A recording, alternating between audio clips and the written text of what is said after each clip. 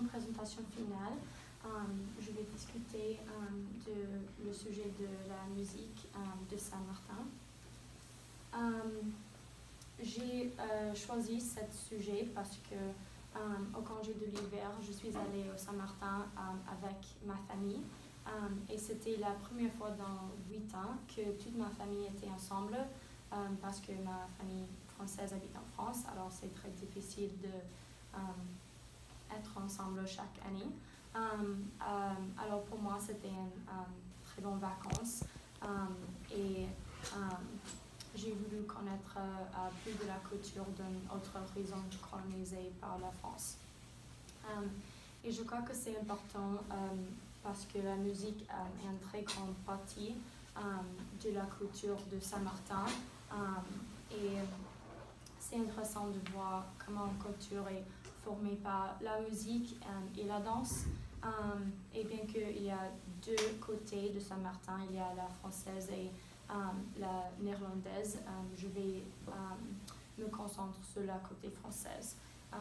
et même si c'était colonisé par la France, chaque culture est très unique, donc c'est important d'apprécier tout. alors, la musique et la danse euh, euh, un aspect que former la culture de Saint-Martin. donc, mon thèse. et dans cette épreuve, je vais analyser et discuter comment la musique a sculpté, préservé l'authenticité de la culture de Saint-Martin à travers quatre styles de musique caribéenne. donc, il y a beaucoup de styles de musique de, euh, caribéenne, euh, mais euh, je vais discuter calypso, soca, merengue et zouk. et calypso, je pense, c'est la plus populaire. soca, c'est la nouvelle version de calypso. C'est plus populaire avec euh, notre génération, c'est moins traditionnel que Calypso. Um, est très influencé par um, la danse et c'est aussi un style euh, traditionnel. et Zouk est aussi traditionnel, mais dans chaque style, il y a beaucoup d'instruments et les styles ont beaucoup des fêtes et des festivals de Saint-Martin. Euh, alors, pour euh, chaque style, euh, je recherche un peu des artistes. Calypso, il y a King Bobo et Amprazi. pour Zouk, il y a Orange Grove et Admiralty. Soca, King Vert et Kevin Little. et Meringue, Latin Sugar. Alors, il y a beaucoup euh, des artistes qui utilisent euh, tout et euh, un peu de les styles dans leurs chansons. et la culture de Saint-Martin est très influencée par la danse et les musiques. dans chaque année, il y a un carnaval de Saint-Martin. C'est très populaire et euh, maintenant, c'est euh, plus populaire et célébré euh, par pas juste la culture et les citoyens de Saint-Martin, mais les touristes aussi.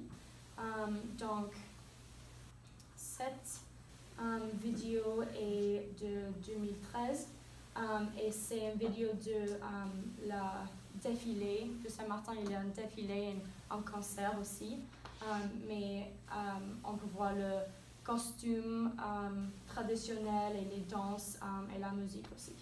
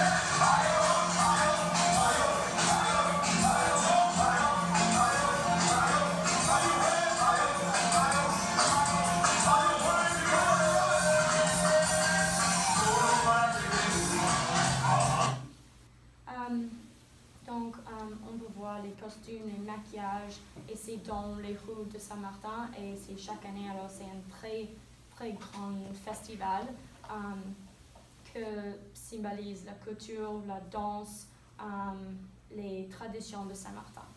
Et cette vidéo est la plus récente, c'est un pro promo vidéo de la carnival et c'est un peu différent parce que c'est plus moderne, euh, mais c'est euh, le concert, de euh, Saint-Martin. Je pense que c'est un peu plus commercialisé.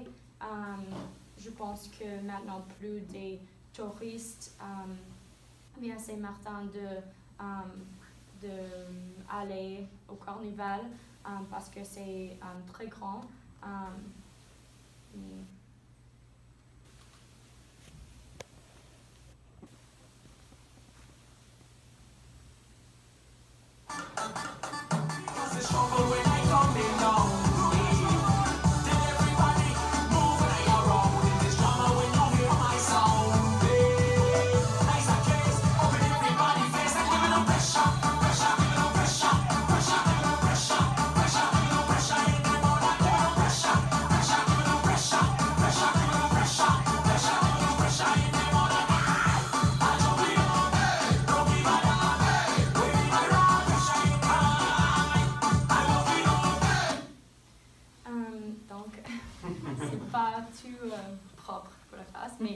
Um, cette vidéo, c'est um, moins traditionnel, je pense. Alors, um, chaque année, je pense que la culture change avec la nouvelle musique et les nouvelles danses de notre génération.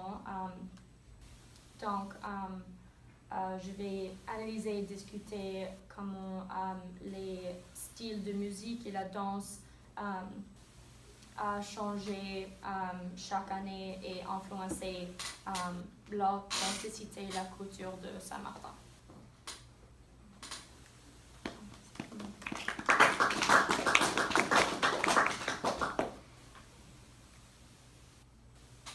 Est-ce que tu étais là non, euh, le carnaval?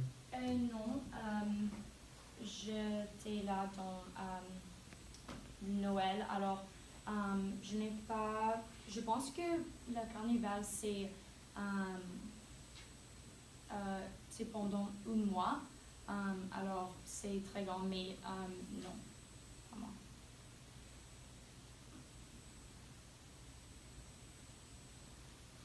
D'accord.